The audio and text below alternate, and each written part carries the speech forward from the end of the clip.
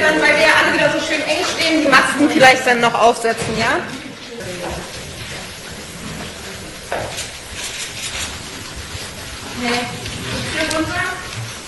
Gleich. Ich sortiere mich erstmal.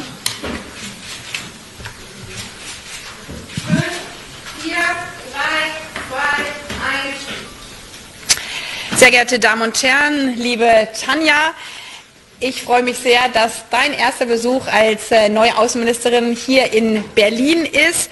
Das ist nicht nur ein wichtiger Ausdruck unserer Zusammenarbeit äh, zwischen Slowenien und äh, Deutschland, sondern auch zwischen uns als Außenministerinnen, weil ähnlich wie bei mir ja auch als erste Außenministerin in diesem Amt ist es ja auch bei dir und das erweitert den Kreis der Außenministerinnen in der EU und stärkt insgesamt die europäische Außenpolitik. Daher herzlichen Glückwunsch und ich freue mich wirklich sehr auf die gemeinsame Zusammenarbeit. Der Besuch und dass äh, du zuerst nach Deutschland gekommen bist, unterstreicht auch die Partnerschaft zwischen unseren beiden Ländern. Wir wollen gemeinsam, dass Slowenien und Deutschland in Zukunft noch enger zusammenarbeitet. Wir haben deswegen unmittelbar vor dieser Pressekonferenz einen gemeinsamen Aktionsplan unterzeichnet. Wir feiern in diesem Jahr auch das Jubiläumsjahr der deutsch-slowenischen diplomatischen Beziehungen.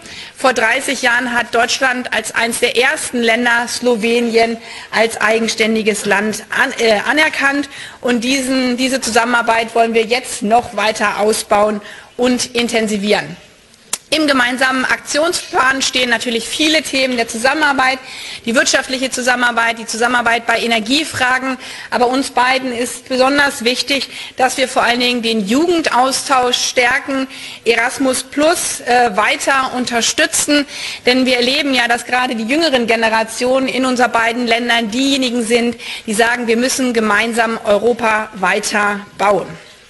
Bei all dem können wir auf eine feste Grundlage aufbauen. Über 70.000 slowenische Schülerinnen und Schüler lernen die deutsche Sprache und jeder einzelne von ihnen baut damit auch eine Brücke der Zusammenarbeit zwischen unseren beiden Ländern.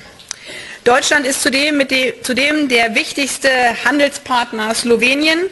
Auch deshalb wollen wir unsere Zusammenarbeit weiter ausbauen im Bereich Energie, Klima und Umweltpolitik. Können wir gerade von euch auch viel lernen. In Slowenien stehen zum Beispiel über 50 Prozent der gesamten Landesfläche unter Naturschutz. Man kann eigentlich sagen, ihr seid das grünste Land äh, Europas in diesem Sinne.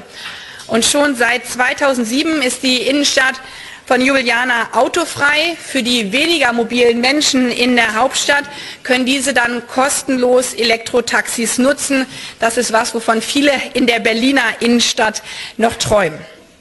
Ressourcenschutz, Klimaschutz, die Sicherung unserer Lebensgrundlagen, all das sind die Hauptbausteine eines zeitgemäßen Verständnisses auch von Sicherheitspolitik. Und genau darum ging es ja beim NATO-Gipfel, wo wir viel auch gemeinsam zusammengearbeitet haben. Wir haben in Madrid beim NATO-Gipfel nicht nur gemeinsam den brutalen Angriff Russlands auf die Ukraine und die europäische Friedensordnung verurteilt, sondern begegnen diesem auch mit unserem neuen strategischen Konzept. Wir stärken darin die östliche Flanke der NATO und wir stärken die Allianz insgesamt, indem wir die Erweiterung von Finnland und Schweden jetzt äh, zum Glück vorangebracht haben. Und ich glaube, wir werden alle schauen, dass wir ganz, ganz schnell nun ratifizieren können in unseren Parlamenten. Wir haben auch sehr deutlich gemacht, dass das Verteidigungsbündnis auf der Höhe der Zeit ist, dass es eben nicht nur um Verteidigung im militärischen Sinne geht, sondern es geht auch um die Verteidigung unserer Werte von Demokratie, von Freiheit, von Rechtsstaatlichkeit von Menschenrechten. Und das macht aus meiner Sicht dieses strategische Konzept der NATO eben aus, dass es ganz zu Beginn des Textes deutlich macht, wofür dieses gemeinsame Verteidigungsbündnis steht, nämlich die Freiheit der Sicherheit unseres gemeinsamen Lebens. Und da ist leider dieser Tage Russland die größte Gefahr, aber wir benennen eben auch deutlich, dass äh, menschliche Sicherheit weit darüber hinaus auch dadurch gefährdet ist, wenn Lebensgrundlagen entzogen werden, die Klimakatastrophe nicht eingegrenzt werden kann und auch wenn zum Beispiel Frauen in Friedensprozessen nicht beteiligt sind. Und auch da haben wir eng zusammengearbeitet bei Women, Peace und Security, deutlich in diesem Konzept gemacht, dass eben auch die Frage von Gendergerechtigkeit eine harte Sicherheitsfrage ist. Für unsere beiden Länder, und das haben wir intensiv gerade auch nochmal bilateral besprochen, ist der westliche Balkan zentral.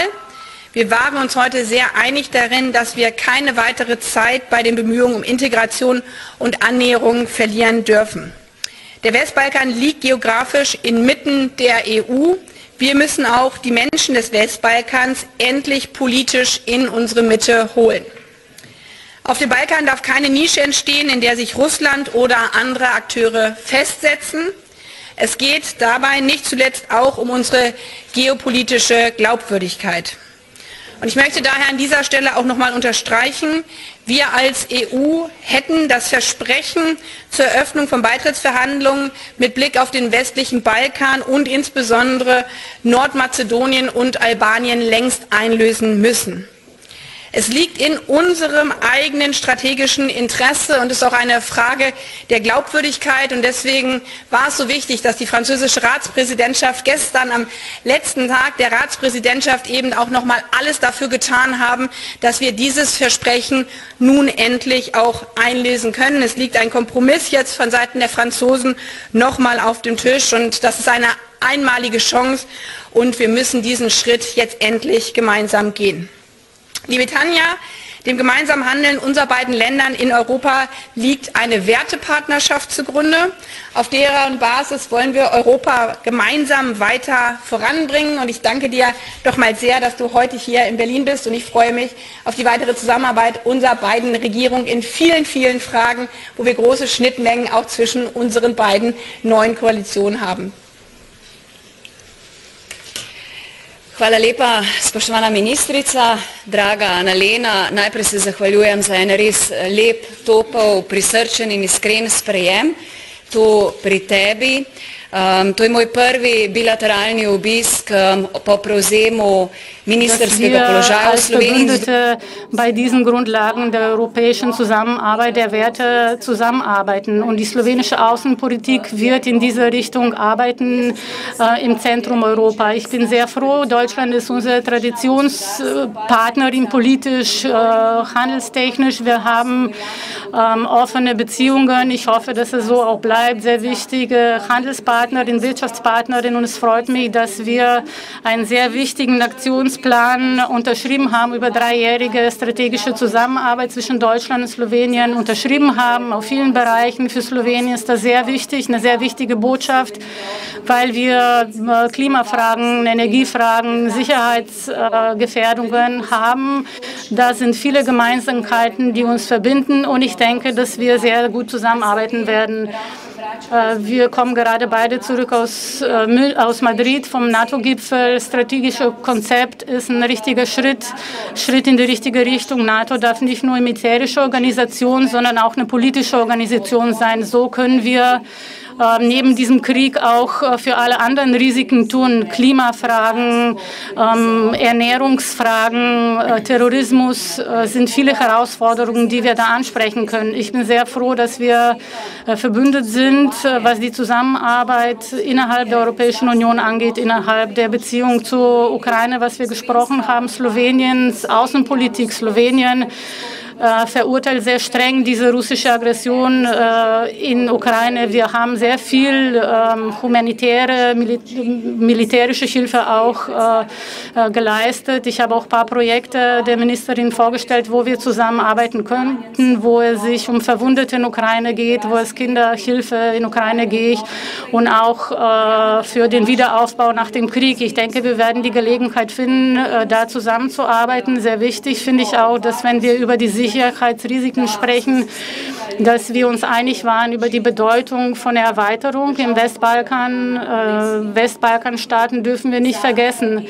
Ähm, und wir sehen das so, weil wir in der Region leben, die deutsche Unterstützung bei diesem Verständnis der Erweiterung äh, auf den Westbalkan, bei der Hilfe für Nordmazedonien und Albanien, für die Beitrittsverhandlungen für Bosnien und, Herzegowina, äh, Herzegowina für den ähm, Kandidatenstatus und um die Beitrittsverhandlungen zu beschleunigen, ist es natürlich sehr wichtig, dass wir die deutsche Unterstützung bekommen.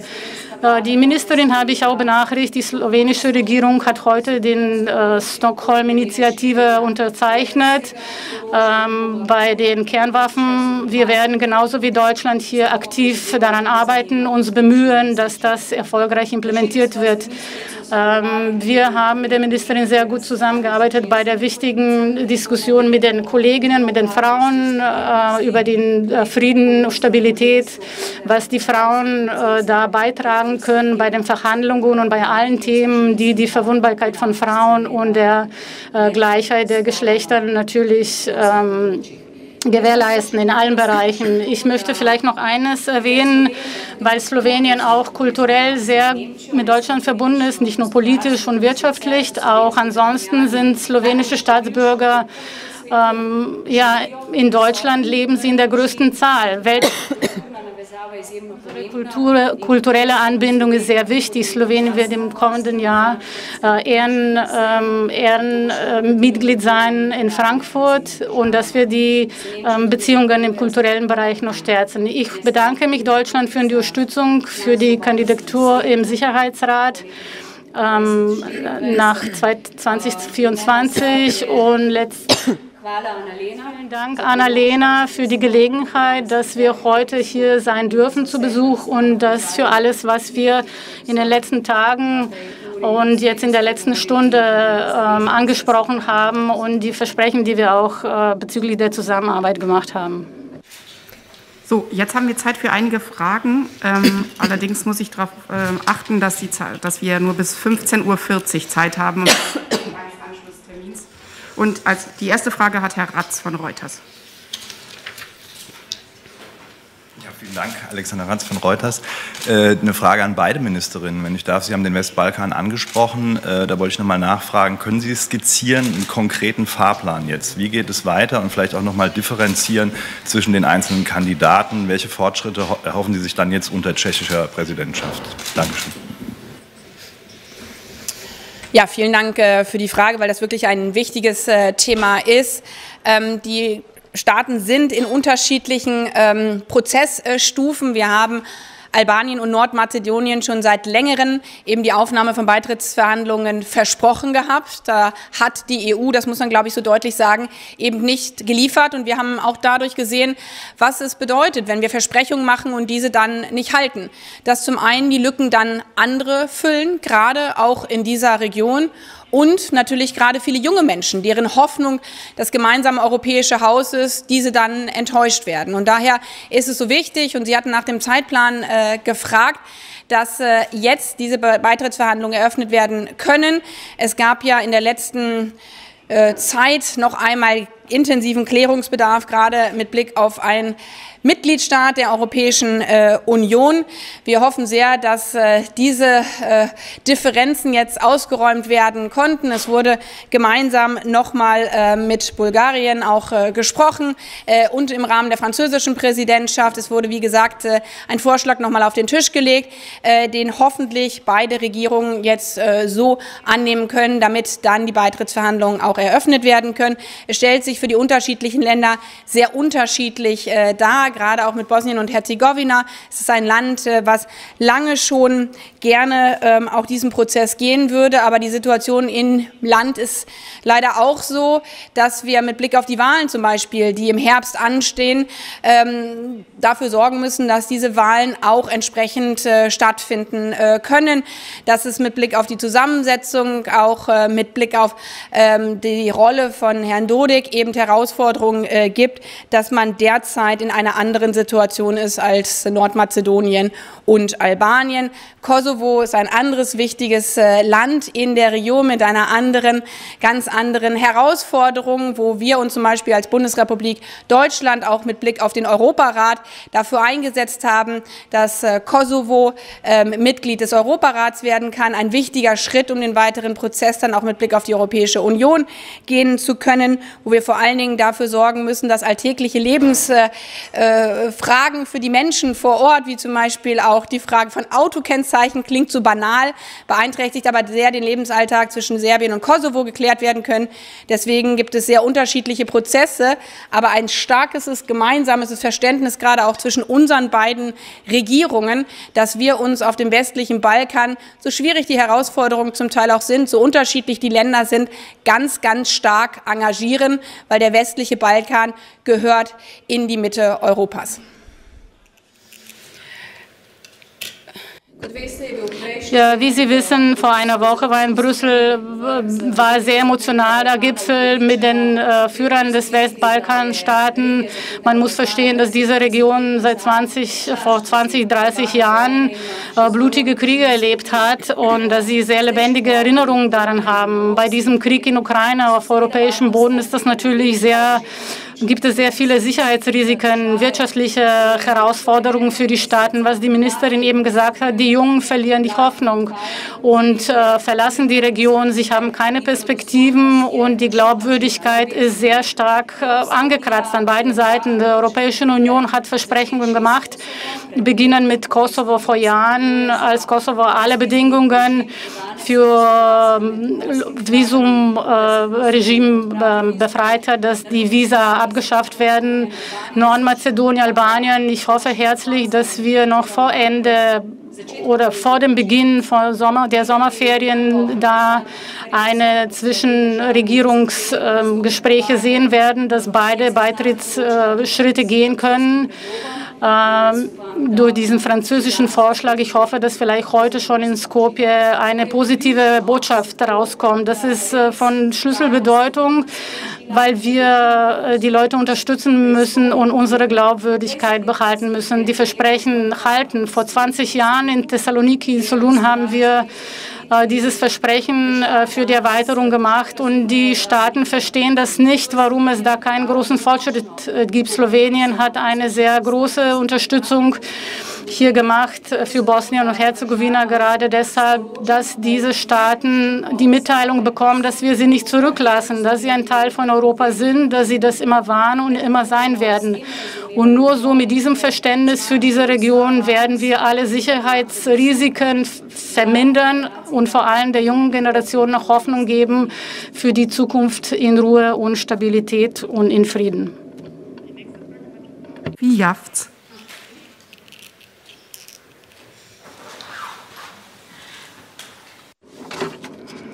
Polona Fiausch für slowenisches Radio Fernsehen. Die Frage für die deutsche Ministerin. Vor den Wahlen haben Sie öfter betont, dass nach 16 Jahren Regierung Merkel die Außenpolitik Deutschlands anders sein wird. Weniger Diktat, mehr Zuhören ähm, an andere Mitgliedstaaten. Im Falle des Westbalkans und Bosnien-Herzegowina ist das nicht geschehen. Es interessiert mich, äh, Kanzleramt hat verleuten lassen, dass jetzt die deutsche Regierung äh, gewissen Druck ausüben soll bezüglich Kauf von deutschen Boxer-Radpanzer. In Slowenien gibt es diesbezüglich eine Revision. Die ehemalige Regierung hat da bereits einen Vertrag unterschrieben. Ähm, und ich würde gerne wissen, ob Sie diesbezüglich gesprochen haben und wie Ihr Standpunkt dazu ist. Vielen Dank äh, für die Frage. Ich würde allerdings äh, sowohl mit Blick auf äh, das, was Sie gesagt haben, mit äh, Äußerungen äh, meinerseits in der Vergangenheit, als auch mit Blick auf was die Bundesregierung jetzt sagt, äh, gerne klarstellen, dass ich diese Wortwahl, jedenfalls die in meiner deutschen Übersetzung war, nicht verwendet habe und auch nicht verwende. Und mit Blick auf die deutsche Bundesregierung, wir sind natürlich mit allen unseren Partnern im engen Austausch über alle Themen der Zusammenarbeit. Das ist die Zusammenarbeit in Energiefragen im Bereich des Jugendaustausches Austausches, äh, feministische Außenpolitik, worüber wir gesprochen haben, aber natürlich auch die Frage der militärischen äh, Zusammenarbeit jetzt noch mal gerade in äh, dieser Zeitenwende. Und äh, zugleich äh, wissen wir alle als starke Demokratien, und ich glaube, das zeichnet äh, Europa ja gerade auch aus, dass die Stärke unsere Vielfalt als EU 27 ist, aber bei uns in ganz, ganz vielen Ländern eben auch immer Koalitionen gebildet äh, werden. Wir haben erstmalig in Deutschland eine Dreierkonstellation, das hat es in unserer Geschichte nicht äh, gegeben. Ähnlich ist es jetzt auch in Slowenien mit äh, der Wahl. Eine neue Ko Koalition setzt sich äh, zusammen. Da hat man manchmal dann auch neue Herausforderungen und solche Fragen, die Sie jetzt auch angesprochen haben, wo es dann vielleicht mit Dingen, die in der Vergangenheit vereinbart worden sind und jetzt auf neue Regierungen zukommen, darüber sprechen wir vertrauensvoll, ähm, gerade wenn es vielleicht leichte Unterschiede gibt. Aber das, was Sie gesagt haben, dass hier irgendeine Art von Druck ausgeübt wird, das ist nicht unsere Art der Außenpolitik in der Vergangenheit nicht und auch nicht in der Gegenwart äh, und Zukunft. Mit den Ministern haben wir über den Krieg in Ukraine gesprochen, bezüglich der Projekte, wo wir humanitär helfen können. Äh, ich habe Sie auch äh, natürlich informiert über das Gespräch, was in Slowenien läuft. Die ehemalige Regierung hat mit der deutschen Regierung eine Vereinbarung unterschrieben über den Kauf von Panzerfahrzeugen. Äh, nach der Regierungswechsel ähm, mit neuen Koalitionspartnern ähm, haben wir ein neues Revisionsverfahren über diesen Kauf gemacht. Und ich habe Sie benachrichtigt, dass diese Revision in Slowenien läuft. Und wenn die beendet wird, werden wir nächste Schritte einleiten. Und jetzt hat Herr Alvarez noch eine Frage. Benjamin Alvarez von der Deutschen Welle. Eine Frage an Ministerin Fayon. Der slowenische Premierminister hat nach dem NATO-Gipfel gesagt, dass der Plan, das Verteidigungsbudget aufzustecken, äh, aufzustocken, aufgrund der globalen Situation und nicht aufgrund des politischen Drucks stattfindet. Glauben Sie, dass der interne politische Druck nach der russischen Invasion gar keine Rolle in dieser Diskussion spielt? Dankeschön.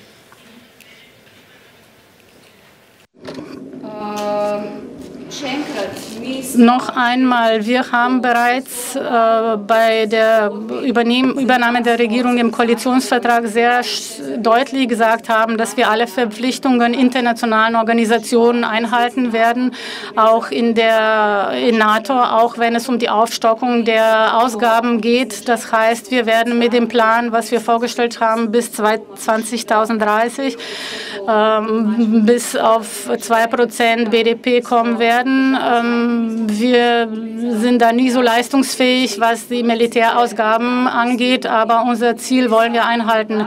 Es geht um keine zusätzliche ja, oder zusätzlichen Druck, politischen Druck. Ich denke, wir sind sehr einheitlich in Slowenien, was die ähm, russische Aggression angeht. Wenn man die Menschen fragen würde, die Solidarität mit Ukraine ist sehr groß, sehr stark. Es gibt viele Projekte. Wir haben viele Leute mobilisieren können, daran zu arbeiten. Wir werden auch äh, materielle humanitäre Hilfe leisten. Ich werde auch Kiew besuchen. Wir haben sehr gute Beziehungen und wir werden nach unseren Kräften helfen. Und die letzte Frage hat Frau Wreitschko.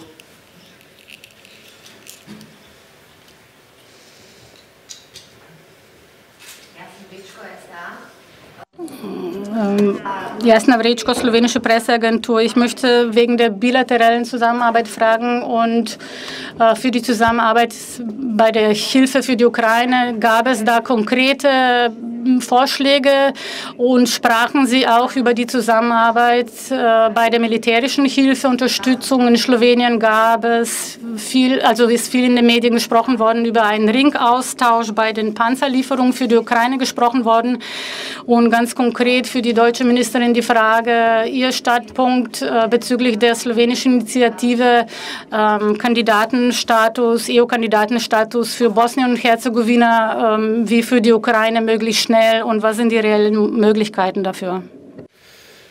Ja, waren unterschiedliche Aspekte in der Frage. Ich fange mal bei den ersten ähm, an. Ja, wir haben sehr viel und intensiv heute, aber auch schon äh, in äh, den äh, Treffen, die wir bereits hatten, zum Beispiel beim Außenministerinnen-Treffen in Luxemburg, äh, über die Frage gesprochen, wie wir auch unsere Zusammenarbeit bei der Unterstützung der Ukraine intensivieren können. Ein Teil davon äh, ist der Ringtausch, wie gesagt, und das macht halt äh, Regierungswechsel und davon leben Demokratien aus. Der Ringtausch wurde ja noch angegangen oder die Idee des es Ringtausche, bevor es die neue Regierung gerieben hat. Deswegen haben wir natürlich auch darüber intensive Gespräche, wie das umgesetzt und fortgesetzt werden kann. Da stellen sich auch viele praktische Fragen, wie das funktionieren kann. Wir haben ja auch mit anderen Ländern eben äh, solche Ideen des Ringtausches und äh, darüber sprechen wir äh, gemeinsam. Wir haben aber auch viel darüber gesprochen, wie wir die Ukraine gemeinsam humanitär unterstützen können. Und zum Beispiel gibt es ein ganz konkretes Projekt, als ich vor Ort in der Ukraine war, gerade auch äh, in Butscha und Irpin,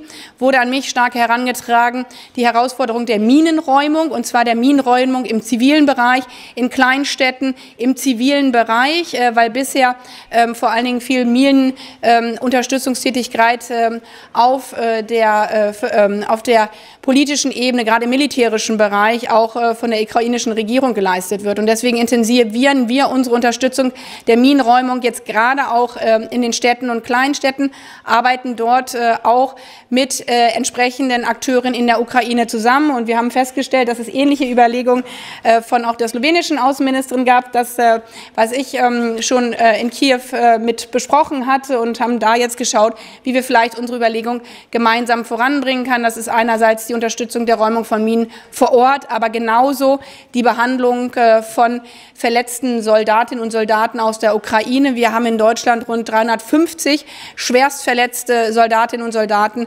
aufgenommen. Die sind zum Teil 16 Stunden lang äh, im Feld liegen äh, gelassen worden, konnten dann gerettet werden, werden hier in Notbehandlungen ähm, versorgt. Und auch in dem Bereich äh, können wir uns vorstellen, weiter zusammenarbeiten, auch dann in der Stufe danach, wo Slowenien ja für bekannt äh, ist, dann auch die Unterstützung von Verletzten in der Rehabilitation. Also viele, viele Themen und Punkte, die wir heute auch nur entsprechend anreißen konnten. Mit Blick auf äh, Bosnien-Herzegowina haben Sie ja unsere beiden Antworten schon gehört.